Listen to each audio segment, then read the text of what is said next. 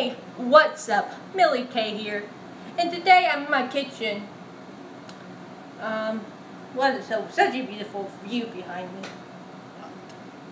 Um, anyways, today we're doing a book. This is the last two one for a while, and the, right now I'm trying to make these videos right now as short as possible because the internet's slow here and it's not as fast.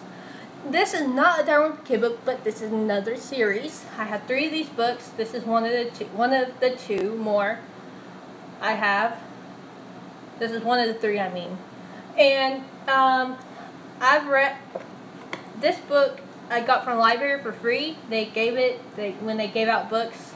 This is one of the books I got, and I started. I was I read the back of it. I got interested in it, and then I actually started reading it. I had three of the series of a lot of books, of a lot of these books, but I have three other books. They're not in any specific order, specific order, and um, there and then we have a song review from the last song on the R5 New Addictions EP. Oh yeah, Shout out to Hollywood Records. Thank you. This, um, this is Hollywood Records um, EP, by the way. But R5 sings the songs on it and stuff. But shout to Hollywood Records for letting me use it. Thank you so much for that. Um, I appreciate it a lot. You are so nice. Um, anyways, um, this book is called Daughters of the Moon. Anyways, if that's who it's by. And anyways, this book, it's about this girl. I'm trying to explain the best I can. It's about this girl who, um, she, well, she, um, she finds out she has special powers and, yeah. So basically, that's something that happens Oh, and shout out to the guy who um, told me I should try to